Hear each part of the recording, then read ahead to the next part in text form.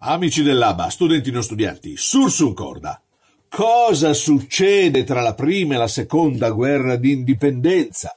Perché la prima guerra d'indipendenza è stato un fallimento mentre il secondo un successo? Beh, in questi dieci anni sono successe molte cose, diciamo tra il 49, fine della prima guerra d'indipendenza, e il 59, inizio della seconda. Io individuerei questi cambiamenti soprattutto in due persone. Uno, in Francia c'è un nuovo imperatore di cui vi ho già parlato, parente alla lontana di Napoleone Bonaparte, che si chiama Luigi Napoleone, che viene conosciuto con il nome di Napoleone III, il quale vuole, per motivi suoi politici, aiutare la formazione di uno Stato italiano almeno nell'Italia del Nord. E il seconda eh, figura importantissima è il ministro dell'agricoltura del governo piemontese, cioè Camillo Benso, conte di Cavour, che per comodità da adesso in poi chiameremo appunto Cavour. Perché questi due sono così importanti? Beh, di Napoleone III abbiamo già detto, io mi soffermerei su Cavour. Cavour era un liberale. Mm? Abbiamo già spiegato la differenza tra liberali e democratici. Soprattutto era a favore delle idee di libero scambio, cioè libero movimento delle merci da un paese all'altro. Solo così, egli diceva, un paese può diventare ricco Egli vuole infatti modernizzare il forte ma arretrato Piemonte con una serie di opere pubbliche, soprattutto con quella che per l'epoca era l'idea nuovissima, cioè una rete ferroviaria efficiente per trasportare le merci, dunque per favorire le industrie, ma anche per eh, far sì che potessero circolare eh, i prodotti agricoli. Questa idea degli scambi commerciali fu effettivamente quella che fece fare un balzo in avanti da un punto di vista economico al Piemonte. Ma eh, Cavour è anche una volpe dal punto di vista politico. Egli ha capito che se lo Stato piemontese vuole unificare il resto dell'Italia o perlomeno del nord Italia come era pensato all'inizio, bisognava coinvolgere altre potenze nazionali favorevoli a questo progetto e nemiche dell'Austria. Queste due potenze erano l'Inghilterra e la Francia. Eh, Cavour individua subito una strategia. Nel 1853 era scoppiata una guerra tra Francia e Inghilterra contro la Russia, ok? È inutile che sto a raccontare come e non come. Questa guerra avvenne in Crimea, che è quella penisola che oggi appartiene alla Russia sul Mar Nero. Il Piemonte, con Cavour, mandò 15.000 uomini, soprattutto bersaglieri, a combattere a favore di Francia ed Inghilterra. Cavour aveva una idea precisa in testa.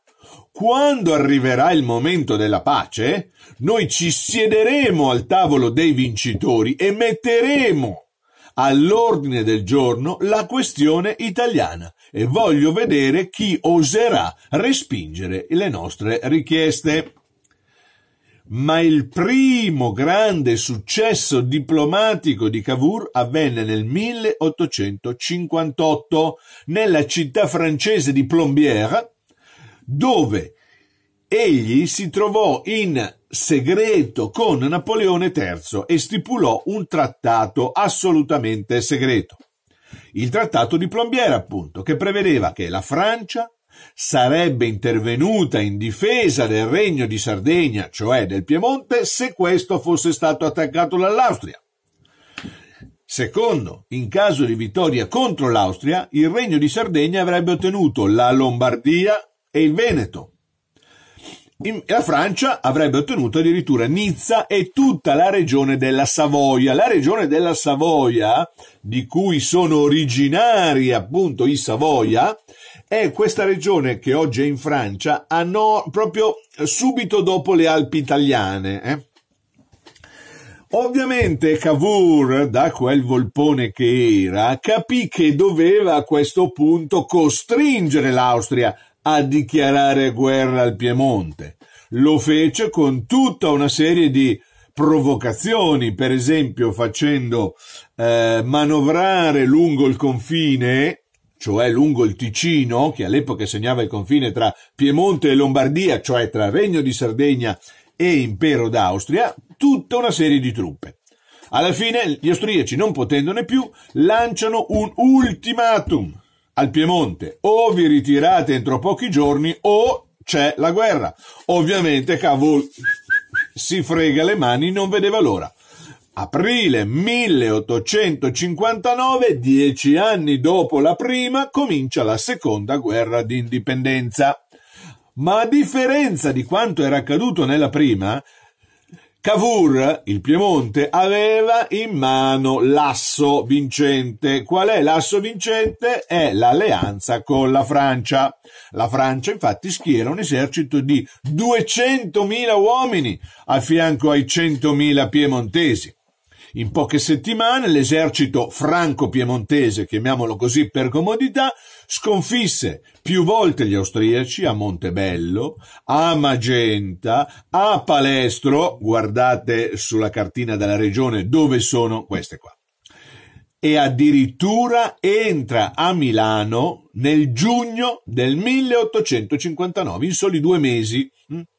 Le vittorie diedero moltissima speranza a tutti i patrioti italiani che accorsero da ogni parte d'Italia, tra cui il più importante di tutti che vedremo, uno degli eroi del nostro risorgimento, Giuseppe Garibaldi, che guidò il suo gruppo di volontari, di 4.000 volontari chiamati i cacciatori delle Alpi, che con il suo straordinario genio tattico e la sua grande capacità di condottiero carismatico, riuscì a infliggere agli austriaci molto più organizzati e potenti grandissime sconfitte.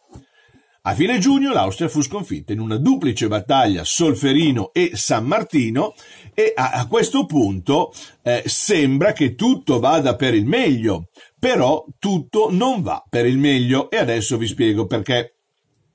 Napoleone III temeva che l'invasione del Veneto, da parte dei franco-piemontesi, potesse spingere la Germania a entrare in guerra a fianco dell'Austria.